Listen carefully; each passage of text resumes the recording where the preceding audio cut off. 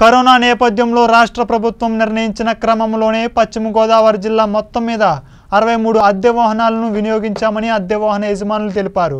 కానీ ఇంతవరకు తమ ట్యాక్సీ కిరాయిలను చెల్లించలేదని తమ బకాయిలను వెంటనే చెల్లించాలని వారు కోరారు.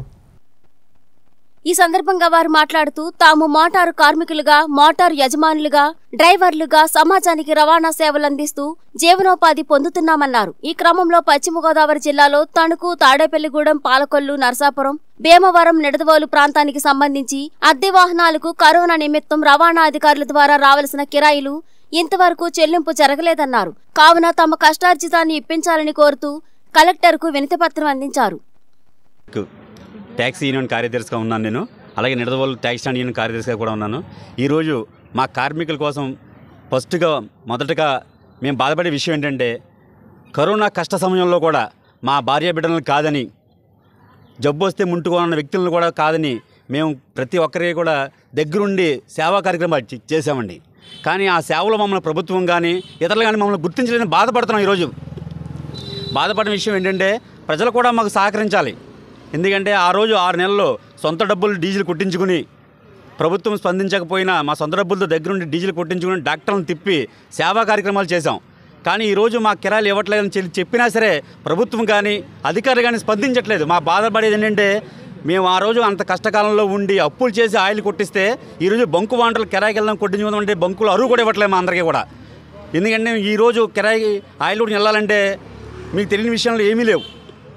మాకు ప్రతి విషయంలో కూడా మీడియా సపోర్ట్గా ఉంటే మేము ఏదైనా సాధించగలదాం అని చెప్పి ఈ రవాణా సంఘం తరపున మీ అందరిని వేడుకుంటూ సెలవు తీసుకుంటున్నామండి కోవిడ్ నైన్టీన్ నేపథ్యంలో ఇంచుమించు పశ్చిమ గోదావరి జిల్లాలో తణుకు తాడేపల్లిగూడెం ఏలూరు బుట్టాయిగూడెం జంగారెడ్డిగూడెం ఇటువంటి ప్రాంతాల నుంచి ఇంచుమించు నూట ముప్పై వాహనాలు ఈ కోవిడ్ నైన్టీన్ దాని గురించి అధికారులు వినియోగించడం జరిగింది. అయితే ఇంతవరకు కూడా ప్రభుత్వానికి ఎన్నిసార్లు రిప్రజెంటేషన్ చేసినప్పటికీ ఇంతవరకు స్పందన లేదు. కాబట్టి వెంటనే ఈ వాహనాలకు సంబంధించినటువంటి కిరాయిలను వెంటనే చెల్లించవలసిన అవసరం ఉంది. అదేవిధంగా ఎన్నికలు జరిగి ఇంచుమించు సంవత్సరాలు గడుస్తున్నా సరే తూర్పుగోదావరి జిల్లా ప్రాంతంలో కూడా కొన్ని వాహనాలకి కిరాయిలు చెల్లించలేదు. కాబట్టి ఇవాళ తూర్పుగోదావరి జిల్లా పశ్చిమ గోదావరి జిల్లా వివిధ ప్రాంతాల నుంచి కూడా మేమందరం కూడా AP taxi owners and drivers welfare association ఆధ్వర్యంలో ఇక్కడ మరి పశ్చిమ గోదావరి జిల్లా కలెక్టర్ గారి దృష్టికి తీసుకొచ్చి రిప్రజెంటేషన్ ఇవ్వాలని చెప్పేసి నిర్ణయించాం. అదేవిధంగా రాష్ట్ర ప్రభుత్వం కూడా ఈ మధ్యకాలంలోనే ఒక కొత్త ప్రతిపాదన చేసింది. టోల్ గేట్లు పెడతాం అరవై కిలోమీటర్లకు ఒక్కసారి అని చెప్పేసి ఆ ప్రతిపాదన కూడా విరమించాలని చెప్పేసి మేము డిమాండ్ చేస్తున్నాం.